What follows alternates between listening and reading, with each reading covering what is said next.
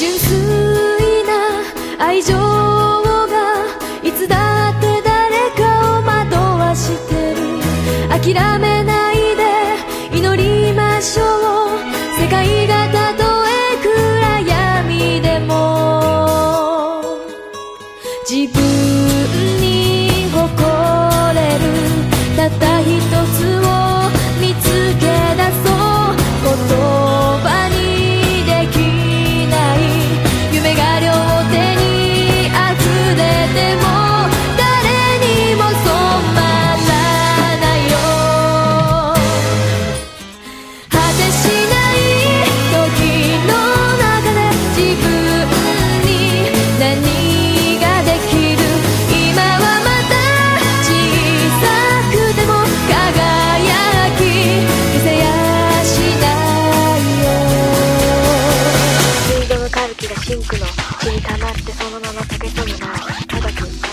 ちろん愛情も全部同じ視点で考える。何か一つ自分にしかできないことを見つけ出せたら他には何もいらないでしょ。それが最近分かってきたでしょ大きな岩のような都会の隅っこで何かを少しずつ少しずつ少しずつ変えていきた。い誰かを感じる侵食してたしてたしてた